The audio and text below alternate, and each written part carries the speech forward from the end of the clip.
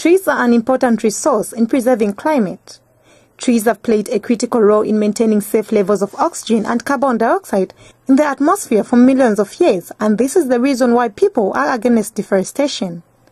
In Zambia, tree planting exercise was done at Levy Mwanawasa General Hospital in commemorating World Environment Day. United Nations Resident Coordinator Kanwig Naraja and Standard Chartered Bank Executive Director Mizinga Melu said there is need to preserve climate by planting trees, especially at places like a hospital. There's no conflict between the growing the economy and the environment.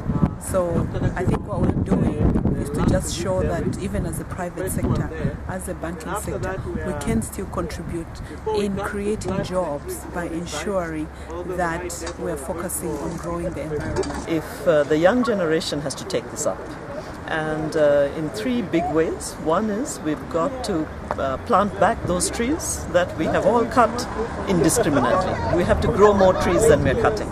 And United Nations Youth Association Climate Change Ambassador Blessing Sinkala emphasized on the need to plant more trees in the country.